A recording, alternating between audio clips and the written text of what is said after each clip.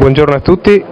siamo con Sonia Alfano, candidata indipendente per Italia dei Valori alle prossime europee. È una, una personalità di spicco eh, nel mondo della lotta alla mafia, poiché lei in prima persona l'ha vissuta con la morte di suo padre, un famoso giornalista, Beppe,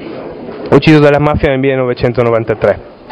Sonia, assistiamo in queste settimane eh, a, a, nuovi protagonisti che si affacciano sulla scena politica in un silenzio assordante della televisione. Eh, stiamo parlando di magistrati, cittadini comuni come te, eh, giornalisti, che hanno in comune una cosa, eh, la lotta contro la mafia, la criminalità organizzata e i rapporti tra politica e malaffare. Perché accade in questi giorni questo fatto inedito per la storia repubblicana? Io credo che la, la, candidatura di Luigi De Magistris e di Carlo Vulpio e, e la mia siano veramente una, dire, un, una novità assoluta perché è la prima volta che il, un partito, nella fattispecie Italia dei Valori, apre le proprie porte ai cittadini che non fanno parte di quel, di quel partito. È un segnale forte, è un segnale molto importante che eh, attesta eh, la volontà di Antonio Di Pietro di rinnovare non solo il suo partito, ma soprattutto di dare la possibilità a gente impegnata, a gente che comunque può essere punto di riferimento dell'associazionismo dei cittadini per, in modo tale da poter portare al Parlamento europeo le loro istanze. Il nostro obiettivo è proprio quello, è quello intanto di far capire all'estero e soprattutto in Europa che l'Italia vive un problema di emergenza democratica e che fino adesso è stato notevolmente eh, bypassato. E l'altro aspetto che noi non possiamo sottacere è quello che appunto abbiamo l'interesse di portare direttamente al Parlamento europeo le istanze di tutti i cittadini e non delle casse di partito, quindi probabilmente questa novità deve essere sottaciuta perché potrebbe essere forse una un, ele un, elemento di innovazione, potrebbe essere spunto per diversi cittadini italiani per ribellarsi a un sistema che va avanti da, da troppo tempo. Ma secondo te questo significa che se queste persone sono costrette ad entrare in politica e, e sono dei servitori dello Stato, cioè si battono per la giustizia, eh, vuol dire che lo Stato stesso non è più in grado di tutelare queste istanze? Io Purtroppo mi sento di dover dire esattamente quello che penso e non è una cosa assolutamente positiva. Io credo che lo Stato non vuole proteggere perché se lo Stato avesse voluto proteggere determinate persone ed evitare e, fare in modo anche che queste persone potessero continuare a fare la loro attività, chi da magistrato, chi da giornalista, allora forse non saremmo qui a parlarne. Io purtroppo credo, eh, così come è successo per tanti anni, come per esempio nel caso di Falcone o nel caso di Borsellino, io credo che questo Stato non, non solo non sia stato in grado di proteggere proteggere, credo che non abbia voluto proteggere queste persone e ce lo dimostra il fatto che a distanza di tanti anni lo stesso Stato nega loro diritto di giustizia e di verità. Quali sono le cause? In pratica, in pratica, ci ha detto di sì, di fatto lo Stato sembra volersi disinteressare in parte eh, di chi lotta alla mafia, di chi lotta contro la criminalità organizzata e il malaffare tra politica e, e criminalità. E, chi, quali sono le cause chi sono i protagonisti? Eh, di chi è la colpa insomma, di questa situazione? io credo che la colpa in questo momento non sia soltanto dei politici corrotti o dei politici che si sono assuefatti ad un sistema, io credo che in questa situazione ci sia anche una parte di responsabilità dei cittadini, di noi stessi che per troppo tempo siamo stati silenti eh, davanti a situazioni del genere. E rispetto a queste situazioni non, non si può eh, non evidenziare gente come in maniera assolutamente trasversale, ma gente come Dell'Utri, gente come, eh, come Crisafulli, gente come il Ministro della Giustizia Alfano che continua a parlare di giustizia quando lui stesso eh, è stato fotografato al matrimonio una, della figlia del boss Croce Napoli mentre si intratteneva piacevolmente. Non è credibile Renato Schifani che fa il Presidente del Consiglio del, del, del Presidente del Senato, scusatemi, non è credibile quando lui parla di lotta alla mafia, quando lui parla di legalità, non è credibile perché lui era socio nella Sicula Brokers con il boss di, di Villa Bate, il boss Mandalà. Non può essere credibile Berlusconi, uno che ha costruito il suo partito con i soldi della mafia. Non possono essere credibili queste persone, per cui c'è una volontà da parte di queste persone che oggi rappresentano lo Stato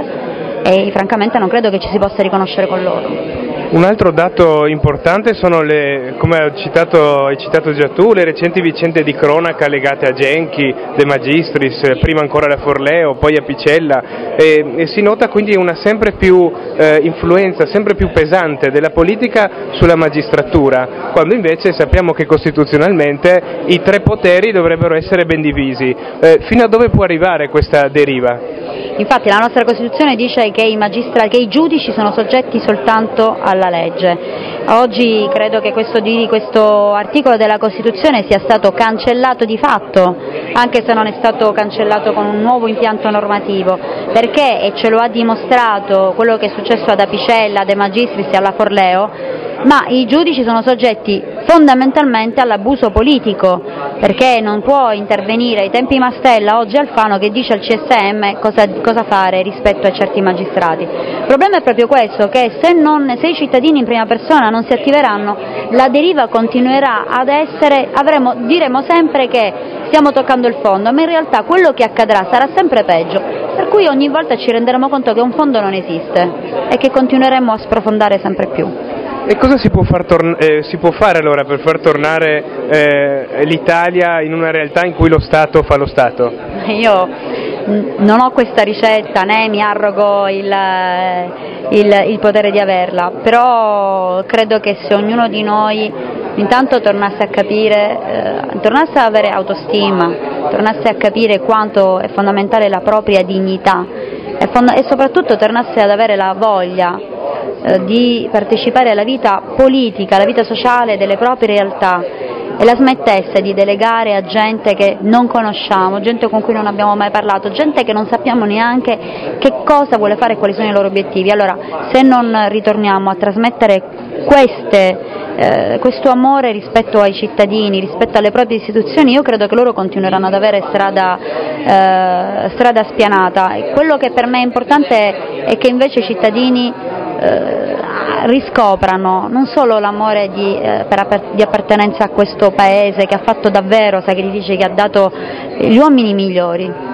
per queste battaglie, ha, dato, ha sacrificato gli uomini migliori. Io penso che purtroppo se ognuno di noi non prenderà coscienza di tutte queste situazioni, di tutte queste vicende e non si impegnerà in prima persona e non darà il giusto speso al proprio potere di voto, allora eh, credo che non avremo grandi possibilità. Io invece spero che le nostre candidature vengano viste dai cittadini come mm, la leva per poter far saltare un coperchio che da troppo tempo continua ad essere spinto su questa pentola. In molti dei suoi interventi ha usato parole forti eh, riguardo alla strage di Borsellino, tornando sempre eh, al discorso degli uomini migliori a cui dovremmo in teoria ispirarci, eh, e l'ha definita come una strage di Stato. Perché? È una strage di Stato perché,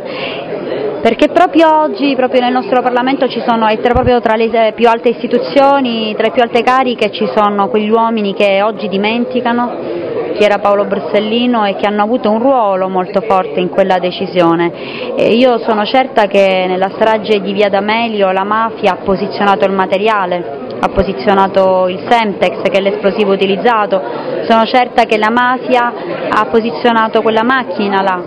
ma sono certa che altri hanno premuto quel bottone e sono certa che oggi lo Stato nasconde questa verità, se la nasconde perché evidentemente lo Stato, come diceva Sciascia, non può processare se stesso. Ancora però non c'è nulla di sicuro, nel senso che nella magistratura, nelle indagini hanno rivelato i nomi oppure, eh, oppure si sa qualcosa in più? Il problema è che, la, la che, lo Stato non vuole che la magistratura indaghi, questo è il punto. Eh, ricordiamoci che proprio pochi giorni fa fu respinta eh, la richiesta della Procura di Caltanissetta di rinviare a giudizio il tenente Arcangioli, che è quel carabiniere che molti di noi avranno visto fotografato perché si allontanava dalla strage di Via D'Amelio con in mano la, la, la borsa di Paolo Borsellino, dentro quella borsa c'era l'agenda rossa di Paolo e proprio in quell'agenda Paolo Paolo annotava tutto, tutti i suoi incontri e c'erano tutti i suoi appunti, quindi quella potrebbe essere la porzione di verità più grande. Infine una domanda relativa proprio alla tua candidatura, una domanda che molti si fanno, come mai eh, voi avete scelto, eh, tu come Vulpio, come De Magistris, eh, le elezioni europee, magari non le amministrative che più o meno in molte parti d'Italia eh, saranno concomitanti? No, io personalmente ho già fatto questa esperienza, l'ho fatta l'anno scorso come grillina perché ero il candidato alla presidenza della regione siciliana e i miei avversari erano due titani, Raffaele Lombardo, quello che poi è diventato presidente esponente dell'MPA e del PDL e dall'altra parte mi ritrovavo Anna Finocchiaro del, del PD, devo dire che noi abbiamo avuto un fortissimo consenso di 70.000 voti pari quasi al 3% e nessuno se lo aspettava,